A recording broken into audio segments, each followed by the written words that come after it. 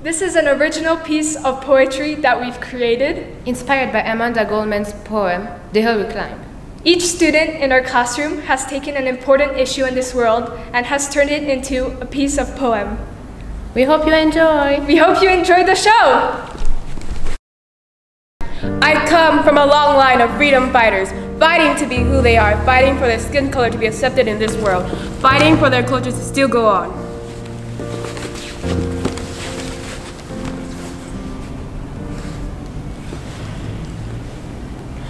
I am a person just like you. I am this person, maybe you are too.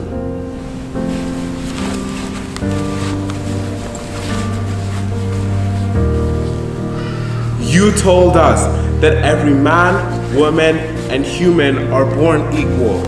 If that's the truth, why are our rights made illegal?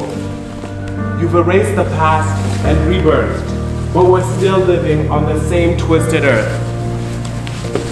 Tears and scars can't be faded because it's that same pain that specializes our faces.